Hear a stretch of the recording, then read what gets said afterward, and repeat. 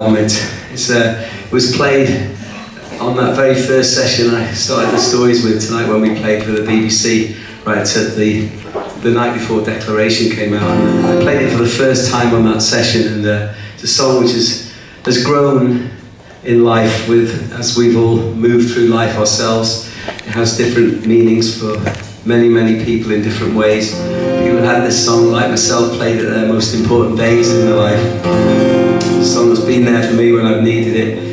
It has the words love, hope and strength in it. This is called Walk Forever by my side.